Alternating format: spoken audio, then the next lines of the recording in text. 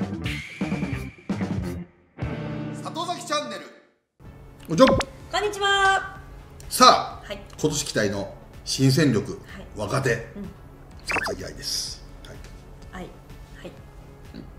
去年一昨年か動画、またすごいところで撮ってましたね。なんか歴史感じますね。昔のやつ見返したら。あ場所が違いましたね。うん、うん。いろいろね、はい。右往左往あって。四箇所ぐらい映ってますよね。そうですね。12そうですね。あのあ五5箇所じゃない？五？だって一番最初はさはい。なんかバーとかでやったじゃんああ、そうでした。懐かしい。そこ入れてなかった。ねはい。だからいろいろねそうですね右往左往しながら、はい家みたいなとこでやった時もありましたしねここでたどり着きましたけども、はい今回はセ・リーグ編ですはい。じゃあ6位から、六位から。はい、まずは六位ヤクルト。はヤクルトはですねやっぱり木澤投手ですね。い。ドラフト1位、うん。慶応大学から。そうです。もうなんかキャンプで150キロぐらい出たらしくて。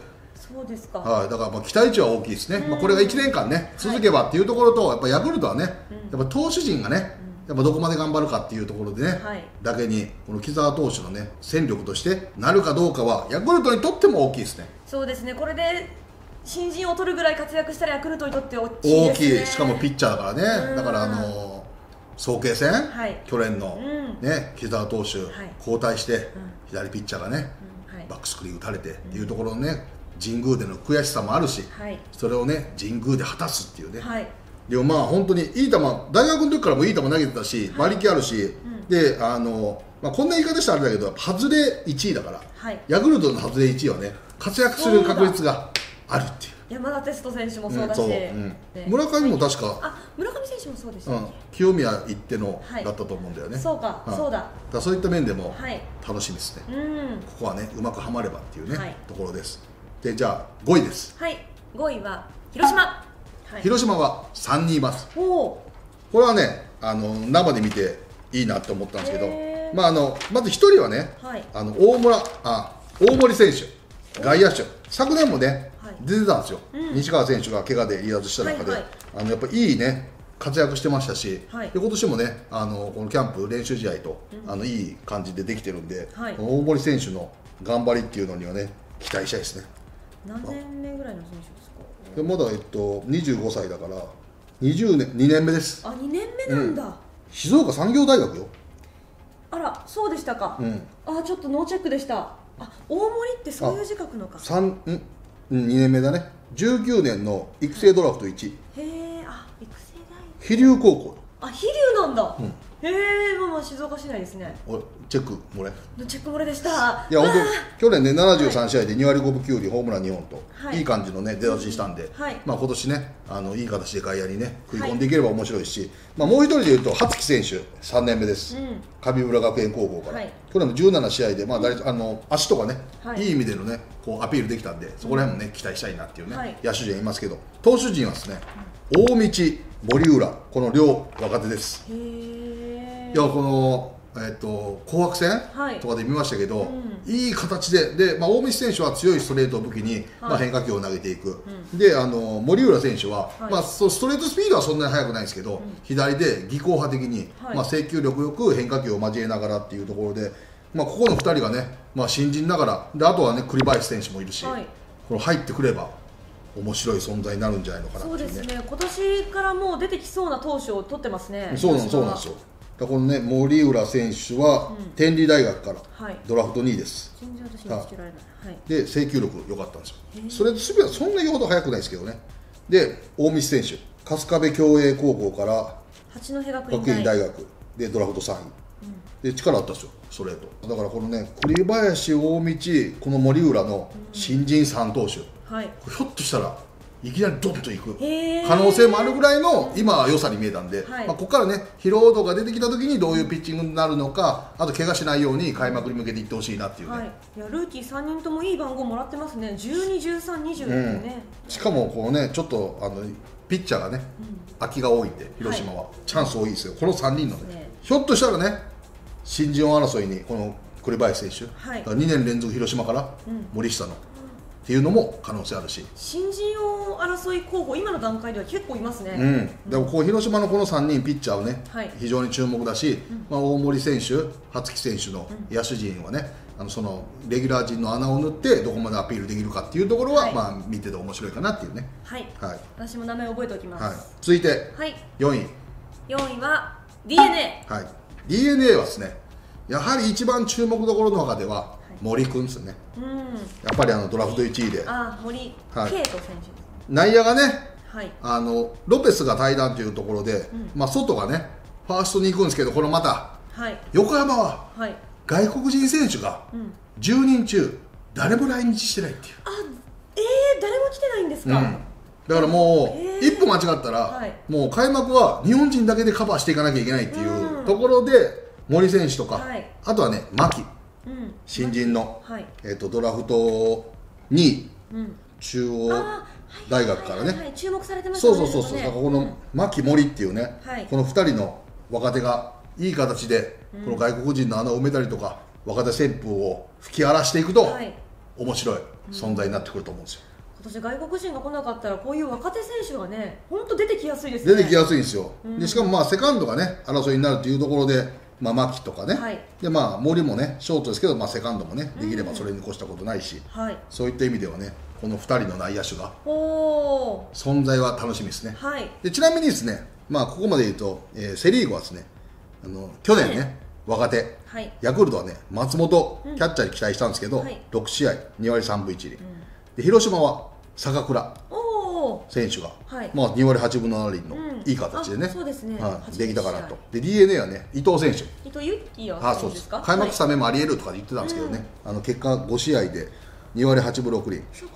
5試合だったんだ、だからまあねこの伊藤細川っていうねパンチ力あるあたりもね、はい。もうそろそろ出てきてほしいなっていうところもあるし、まあ、楽しみなね選手ははい。多いですけど、まあ、その中でもこの森牧というね、2人の若手には大きく期待したいなっていうねところですね。はい。さあ続いて A クラス。A クラス。3位は中日。はい中日です、去年は梅津推しで。はい。キャンプ見てもすごい良かったんですよ、うん。梅津がねはい。7試合で2勝3敗、防御率3.74、ん。ちょっとまた1年間ねはい。働けずっていうところで、でも今年も梅津推しです。はいおお変わらず。いや変わらず頑張ってほしいですね、まあ、ここは引き続きね、はい。まあ、怪我なく1年間まずローテーション回れる体力作りをね、してもらいたいなっていうところはありますけども、今年の若手の一押しはですね、岡林ですね。外野手です。はい。あ2年目ぐらいの選手でしたっけ、2年目で2年す目ですね。小物高校からドラフトが5位。昨年ね、1軍で6試合、2割8分6厘と、で2軍ではね、リーグ3位の打率2割8分5厘と、はいで今年はキャンプで、ネオとかと同じように、立浪臨時コーチにはい。しごかれて、うん。教育されてるっていうところで、この岡林選手にね、はい。ちょっと若手の中では一番期待したいなっておいうので、おいい形のバッティングもできてますし、ういい形でね、はまれば、まあ今年二十歳なんでね、はい。まあ、まだまだこれからですけども、一気に来てほしいですね。ぐっとつかみにい感じで。今はね外野手もまあ大島、うん。平田、福田とかねいますけども、まあ、そこでねガッと入ってくるとまた面白い存在になるんですよね、中日もね若い選手たちがこう一気に能力を上げてきてるんで、はい。それに沿ってればネオとかもそうだし、石川もそうだしね、はい。あのこの3人衆ぐらいがチームの底上げができればね、はい。さらに強くなって優勝争いもね夢じゃないなっていうところもあるんでこの岡林選手にはねちょっと期待して、今年1年見ていきたいなっていう、はい、はい。名前覚えておきます、はい。じゃあ続いてはい。2位です、阪神タイガース。阪神、はい。阪神は、まあこれはねもう当たり前やろっていうところでは、はい。新人のドラフト1位の佐藤君がね、あまあそうですね。今めちゃくちゃ打ってるんで、うん。まあその練習試合とはいえね、はい。でも期待値はね、高まりますよね、うん。だってあの阪神のあのバンキシャの人たちが、はい佐藤君いてよかったって言ってましたもん。佐藤君いなかったら、い。話題はもう大山で行くしかないらしいんですけど、うん大山が怪我していなくなったから、はい。話題が外国人もいないし、ん。全くない中で紙面作り大変だったけど、佐藤君一人いるからもう本当助かったっつって、記者も助けるっていう、うん、でめちゃくちゃ打ってるしね、へーそうですね。あのゆったりとしたフォームでバリー・ボンズのようにね、うん。その後ろ足軸足残しながら打つっていうね、まあ、僕は好きなフォームではありますけども、はい。まあ、ここからね勢いがどこまで続くのか、まあ、非常に楽しみですよね、なんかこう久々に本物感ありますよね。あるあるある今のところね、うん、大物感がすごいです、ここからね、主力どころのエースどころが状態上がってきた中で、うん。どういったね、このバッティングできるかどうかっていうのはね注目ですけど、はい。楽しみですね、楽しみ。オープン戦からも楽しみですね、あとはですね、はい。あの井上康太ドラフあの履正社からはい。